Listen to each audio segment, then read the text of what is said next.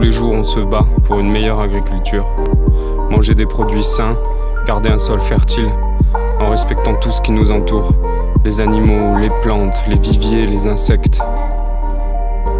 À nous maintenant de revoir notre consommation, acheter des produits aux producteurs locaux et pas aux grosses industries qui fracassent le sol, qui manipulent les graines, qui nous démunissent de notre nourriture et de notre eau. Tout ça pour faire du profit avec des produits peu nutritifs, contrôlés, monopolisés, voire modifiés. Non, un agriculteur, c'est pas un conducteur de tracteur qui fait de la monoculture, détruit les sols et utilise des semences bêtement sans savoir faire pousser une plante. À nous de changer notre consommation.